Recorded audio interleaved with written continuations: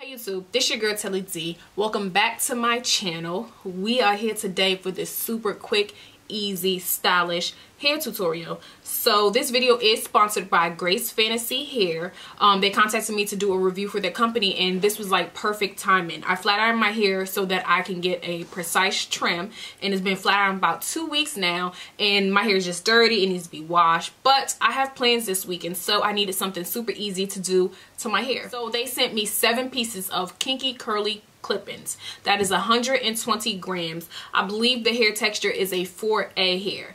The hair is the hair is a tight of curl than my natural hair pattern and it is also a little bit darker. Um, instead of wearing them like a traditional clip-in because it would not match my hair texture, I decided to do this super sleek yet a little messy top knot bun um, thing with it. And I love the way it came out. Like this was so so easy. It took me maybe about five minutes to do. Definitely still very stylish even though it was so quick to do because I feel like you can dress this up or dress this down.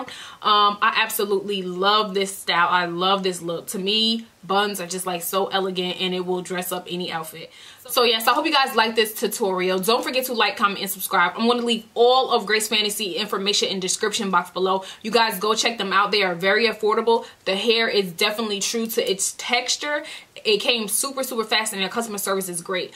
Like I said, all the information will be in the description box below. You guys be sure to like, comment, and subscribe. I can't say that enough so that I know what kind of videos so that I can know what kind of videos you guys like.